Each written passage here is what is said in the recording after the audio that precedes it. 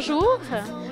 Vous êtes à ce 8 mars 2011, jour de fête de 40 ans de votation des femmes. Vous êtes là par hasard? Alors, euh, plus ou moins, c'est-à-dire je sais que le 8 mars c'est la journée de la femme, et puis euh, j'avais envie aussi avec ma petite de lui faire vivre une fête des femmes au lieu de passer la journée à faire le ménage. Je suis une femme de terrain. J'ai- J'aime bien faire bouger le monde. C'est-à-dire que je vais offrir euh, aussi une manière euh, de, mettre en mouvement euh, cette libération des, femmes sous forme de danse. Très souvent, le corps parle plus que la bouche, ou peut-être que le corps parle mieux par rapport à, ce qu'on a à l'intérieur. Je suis très investie dans tout ce qui est l'égalité, les droits de la femme, et j'avais envie de participer à cette action, à cette manifestation merveilleuse pour euh, toutes les femmes. Je suis un homme solidaire, comme on dit. Ici, la liberté de la femme de Suisse. Je désirais passer, puis aussi partager quelques moments avec les femmes qui étaient là, puis aussi avec les hommes. C'est vous de l'égalité homme-femme? Grand sujet. Euh, ben, bien sûr, c'est une la palissade. Je trouve que c'est hyper important.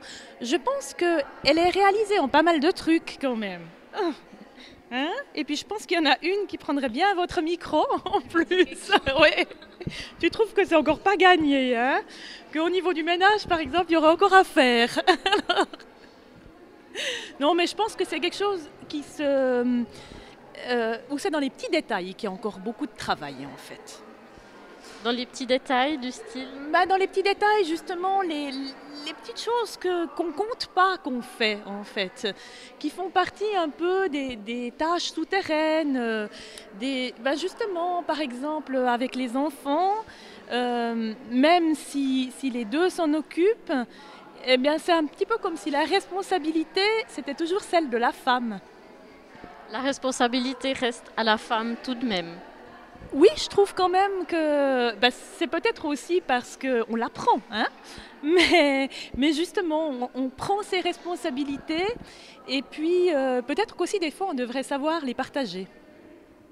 Égalité homme-femme, pour moi, ça veut dire que on, on est égal dans tous les aspects, comme à la maison, au travail, on a les mêmes responsabilités.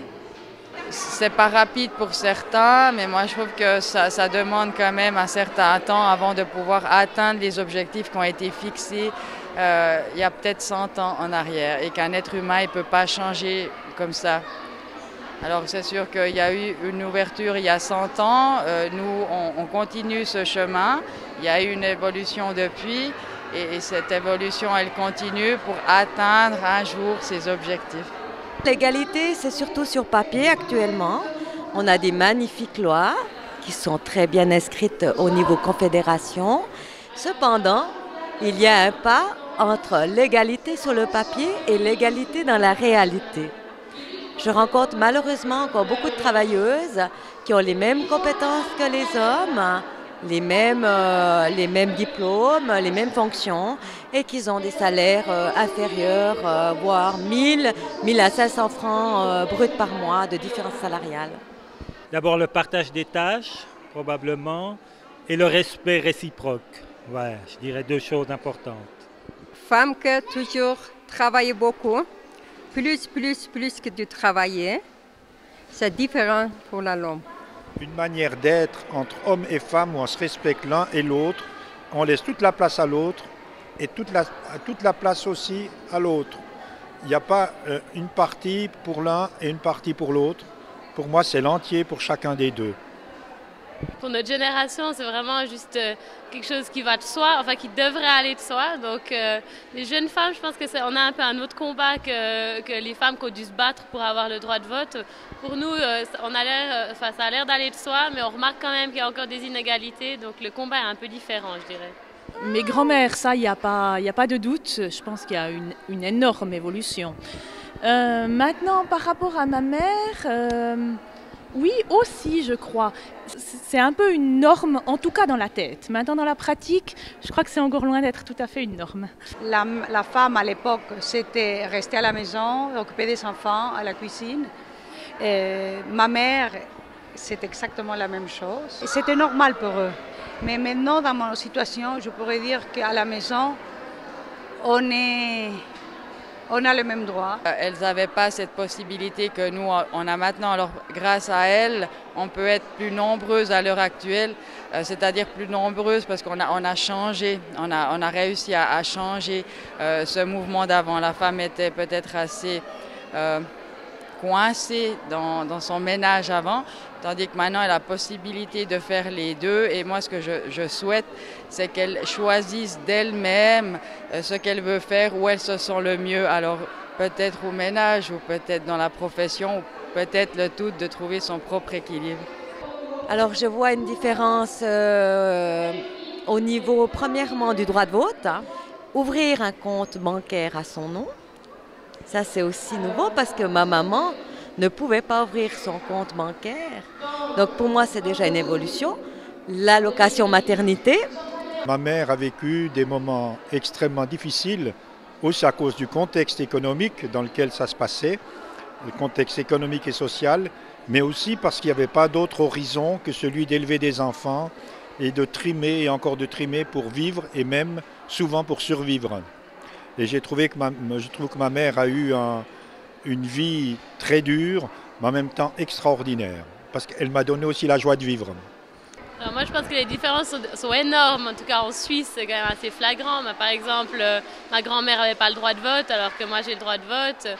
Maintenant, les femmes travaillent. Il existe quand même des structures d'accueil pour les enfants. Il existe même des hommes qui travaillent à mi-temps, alors que, du temps de ma mère, euh, c'était vraiment très difficile, ça.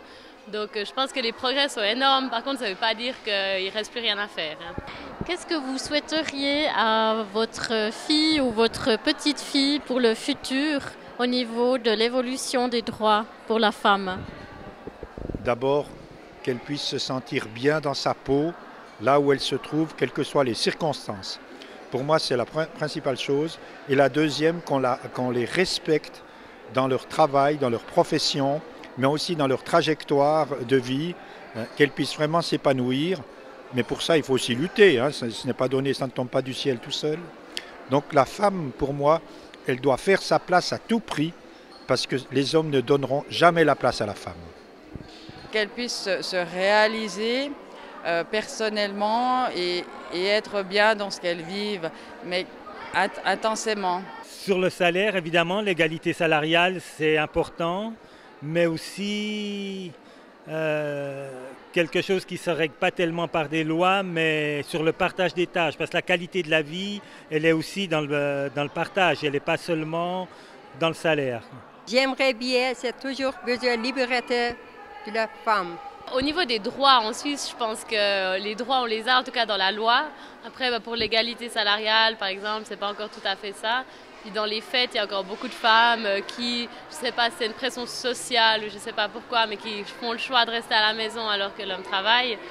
Donc euh, moi, je leur souhaiterais qu'elles doivent vraiment, vraiment plus se battre et que les hommes de leur génération euh, trouvent ça normal de partager toutes les tâches équitablement.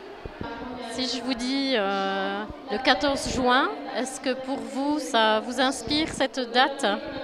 Oui, le 14 juin est très symbolique. Ça symbolise le droit de la vote, euh, la grève des femmes, euh, la marche mondiale des femmes, euh, tous ces mouvements qui se sont mis en place.